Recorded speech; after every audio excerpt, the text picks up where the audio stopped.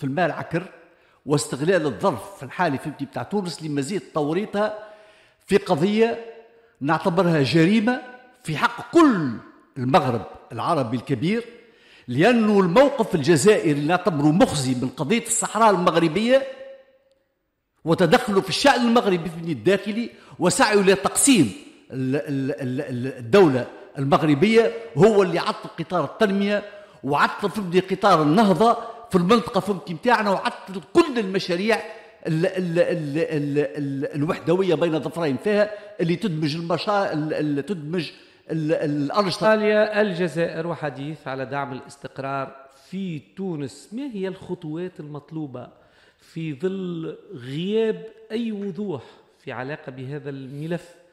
آه، ملف ما هو مطلوب. الإيطاليين طلبوا من الإخوة في الجزائر بالضبط شنو الأخوة في الجزائر رؤيتهم للاستقرار في تونس. الرئيس عبد المجيد تبون سبق وصرح أن تونس تتعرض لمؤامرة وأنه يدعم الدولة التونسية ممثلة في شخص رئيسها المنتخب الرئيس قيس سعيد. الاستجلاء الآراء من وجهة نظر جزائرية قبل ما نعطيكم أنتم للتعليق وللتحليل معايا مباشرة عبر الهاتف من العاصمة الجزائرية الكاتب والباحث في العلوم السياسية الأستاذ عمار صيغة. أستاذ عمار مساء الأنوار.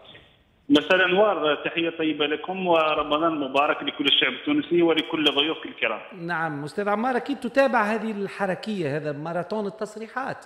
بخصوص الوضع في تونس وحضور التصريحات الجزائرية كان لافت سواء من خلال كلام الرئيس عبد المجيد تبون أو من خلال هذا هذا التبادل في مستوى الآراء في مستوى التنسيق خاصة بين إيطاليا والجزائر بخصوص تونس. ما معطياتكم؟ ما ما ما, ما المعلومات؟ ما الذي يحصل؟ هل لديك تفصيل أكثر؟ آه، ان المرادية تبنى تبنى مقاربة المؤامرة الموجودة على تونس. كيف ينظر في الجزائر للوضع التونسي بالضبط؟ إيه، بطبيعة الأمر آه، فتشابك العلاقات بين تونس والجزائر آه، ذو خلفية حضارية وخلفية تاريخية. الجزائر طالما نظرت إلى جيرانها بعين الاهتمام والتشاركية في كل القضايا ذات الشان المتبادل منها السياسية نعم. الاقتصادية وحتى الأمنية نعم. وبخصوص ربما السيال الذي تمت إثارته مؤخرا فيما يتعلق بزيادة الاهتمام أو بالشأن السياسي أو الاقتصادي في تونس نعم. وبالنسبة للجزائر كجارة وكشقيقة بالنسبة لتونس تولي اهتماما بالغا وقد تجلى ذلك من خلال الخطاب الرسمي للسيد رئيس الجمهورية الذي طالما تحدث باهتمام بالغ وربما بنوع من العاطفية تجاه تونس وما يحدث في تونس نعم. وفي هذا دافع ورافع عن كل ما يمكن أن يتعلق بالتدخل في الشؤون الداخلية لتونس نعم. وشدد على احترام حدود السيادة التونسيه التونسيه وعدم التدخل في الشؤون الداخلية لتونس. مثل آه، ذلك هو آه، رغبة الجزائر في مرافقة شقيقة تونس في آه، تجاوز محنتها خاصة الاقتصادية. وقد تجلى ذلك من خلال تنسيق إيراني جزائري وفي هذا السياق. نعتقد أن التنسيق هو ذو خلفية اقتصادية بحتة تنموية فإيطاليا من مصلحتها أن تحد من ظاهرة الهجرة غير الشرعية ومن توافد قوارب الهجرة غير الشرعية وذلك بتبني مقاربة تنموية من شأنها أن ترفع ربما الضغط الاقتصادي على كاهل آه، شعوب نعم. المنطقة شمال إفريقيا نعم. والمغرب العربي بالخصوص. نعم. سيد عمار مرحبا. معك نجيب التزيري نعم. مرحبا أخي مرحبا. آه، آه، سيد عمار الرئيس عبد المجيد تبون في حوار نعم. الجزيرة قال لي تونس تعرض للمؤامرة. نعم. وفي المطلعين على الشأن التونسي يقول لك اللي قبل اللقافات اللي صارت في تونس آه، صار هاتف بين الرئيس عبد المجيد تبون والرئيس التونسي دين تقريبا 45 دقيقة. نعم. كنتم مهتمين بالشأن نحب نعرفوا المؤامرة من شكون شكون الجهة؟ يعني الجهة الدولية ما هو الشعور في الجزائر يعني؟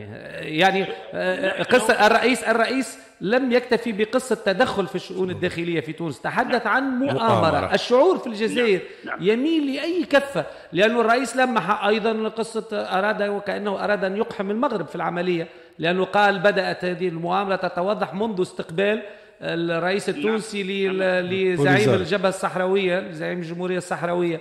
آه،.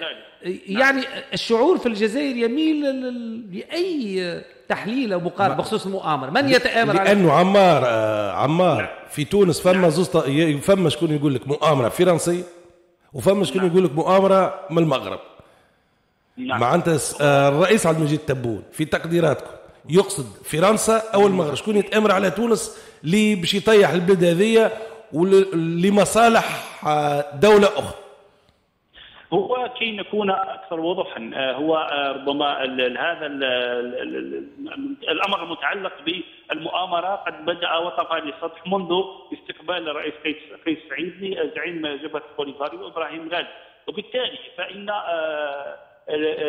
تصريحات السيد رئيس الجمهورية ربما جاءت نتيجة آه، تحركات مشبوهة لنظام المخزن في آه، الشأن الداخلي في تونس ربما حتى تحريك بعض ال- الأطراف التي آه، لعبت نوعا ما في توتير الساحة السياسية في تونس. وهذا بشأن كذلك أن يزيد من قلق الجزائر لا سيما وأن أمن أمن تونس هو من أمن الجزائر.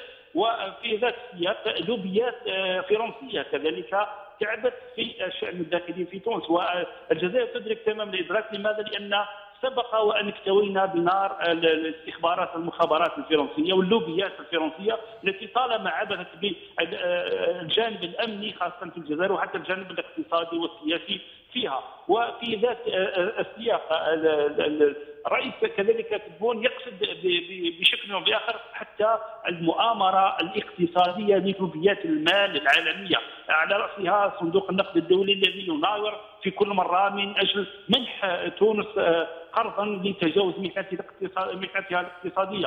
وبخلفية نوعا ما آه، ذات طابع أو طعم آه، مؤامرة ربما لتحريك أو للعبث بالشأن السياسي في تونس وإملاء بعض الأجندات التي لا تخدم الشعب التونسي لا من قريب ولا أستاذ عمار. من بعيد. أستاذ عمار يعني هناك وجهة نظر في تونس تقول أنه ال ال ال ال الرئيس تبون يعني والإخوة في الجزائر يعني يحملون تونس ما لا تحتمل بإقحامها في الصراع الجزائري المغربي من خلال هذه الاتهامات. يعني هل هناك تجارب سابقة؟ هل هناك أدلة لديكم في الجزائر تفيد أنه النظام المغربي ممكن أن يكون ضالع في في التآمر على تونس أو في أو في الإساءة إلى تونس أو في تعفين أو توتير الأوضاع. يعني هل هناك معطيات معطيات يعني ملموسة في هذا المجال؟ حتى لا يفهم من الحديث الجزائري أنه توظيف لتونس في صراع اللي هو الصراع التاريخي المعروف بين بين الجزائر والرباط بخصوص ملف الصحراء الغربية. وبكل صراحة وبكل وضوح آه، ربما حتى وهذا اللي المؤامرات طالبينه أي أي. نعم المؤامرات التي نراها من وجهة نظرنا بكل موضوعية مؤامرات التي آه، يحيكها نظام المخزن بعيدا عن آه، الشعب المغربي. ونحن نقصد تمام القصد أن النظام المخزن المؤامره آه، قد حيكت على ربما توريط بعض الدول الدول في سياق سياقات أو سياقات التطبيع مع الكيان الصهيوني ومحاولة آه، إقحام الكيان الصهيوني في آه، المجموعة الإفريقية من خلال آه، إدراج مقعد مراقب في الاتحاد الإفريقي. ألا يمكن اعتبار هذا في حد ذاته مؤامرة على القاره الافريقيه ناهيك عن مؤامرات أخرى متعلقة خاصة آه، في العشريه السوداء آه، طالما آه، كانت كانت ال- ال- المملكة المغربية حديقة خلفية للجماعات المتطرفة وطالما مكث أمراء الجماعات الإرهابية التي كانت تعبث وكانت تعيش فسادا في الشأن الأمني في الجزائر وكانت دماء الجزائر تسفك والامراء في مستقرون في قصور ملكية في المغرب وهذا هذا بالنسبة للجزائر المغرب أي بالنسبة لتونس ما دخل تونس في ذلك حسب رأيكم نعم تونس تونس هو بالنسبة للعلاقات نحن كجزائريين نعم. وربما ك- كمراقبين نعم. للعلاقات الجزائرية التونسية لا يمكن بأي حال من الأحوال أن نملي أجندات أو نملي آه، آه، أمور معينة على آه، شقيقة تونس في اختيار مساراتها فيما يتعلق بالسياسة الخارجية التونسية. تونس لديها رئيس منتخب شرعي منتخب من خلال صندوق. وله له صلاحيه دستوريه في رسم وقيادة دفه السياسة الخارجية وهي نعم. حرة في ذلك نعم. بعيدا عن كل تلك التجاذبات لا يمكن بحال من الأحوال اعتبار تلك الحدود المتعلقة بالعلاقة بين الجزائر والملف التاريخي كما قلت الصحراء الغربية و المغرب وجمعه ودمجه مع ربما حتى النشاط السياسة الخارجية التونسية فيما يتعلق هي حرة في من تستقبل ولا تستقبل الجزائر لا تلعي ولا يمكن أي بحال من الاحوال وذلك من خلال التصريح الرسمي سواء لرئيس الجمهورية هل يعني في وراء قصة التحليل يعني هل تعتبرون أن هناك تورط مغربي في إثارة الأوضاع داخل تونس؟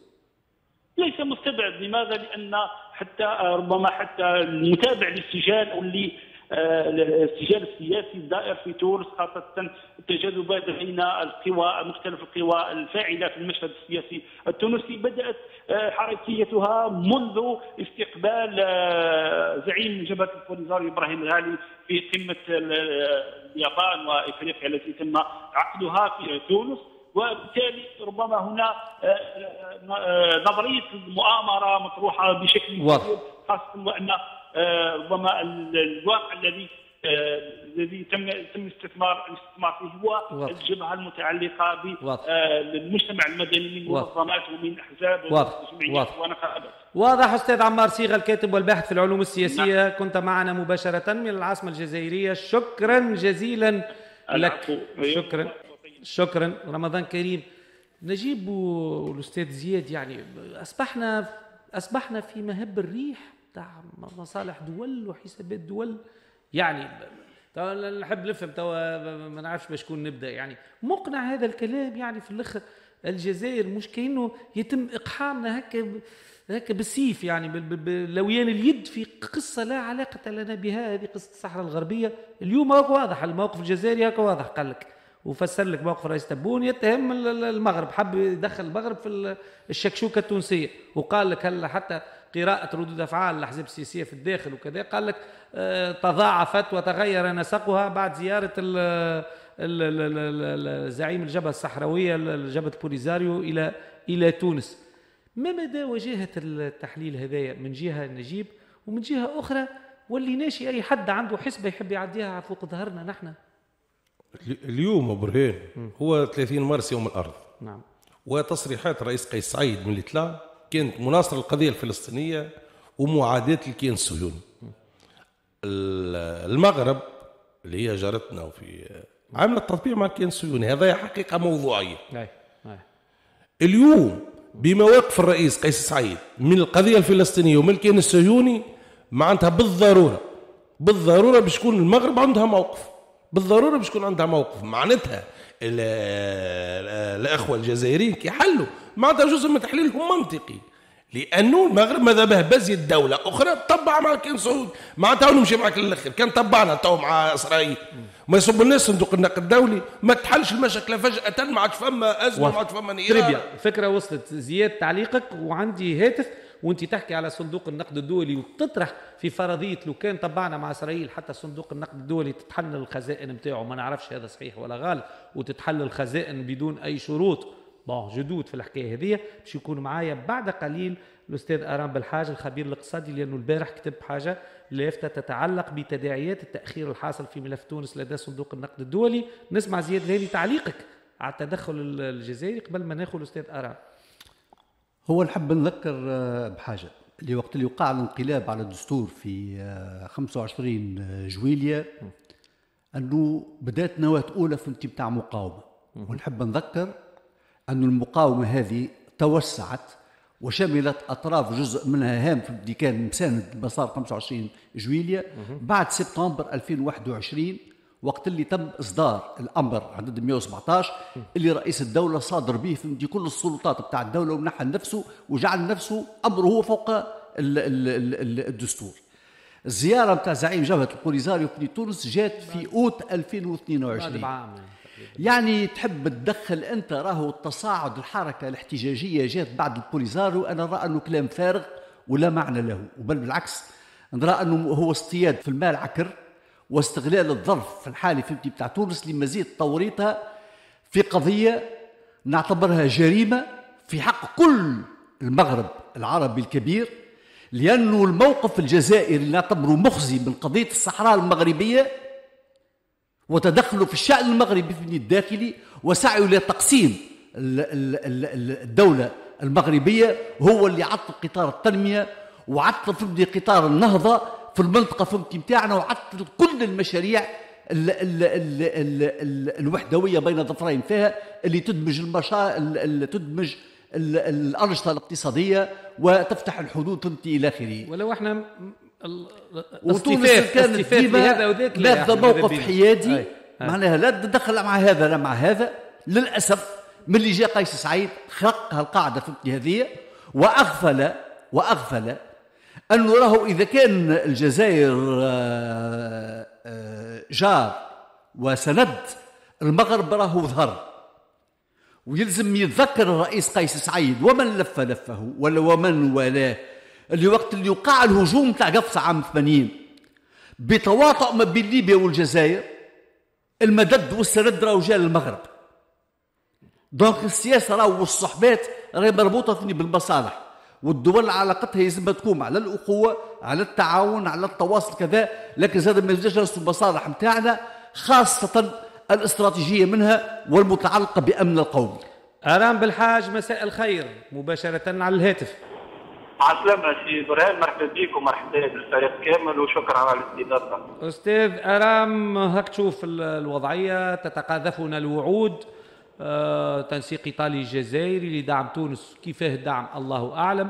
آه، والجميع يتحدث كلمة سر موجودة في كل التصريحات والبلاغات.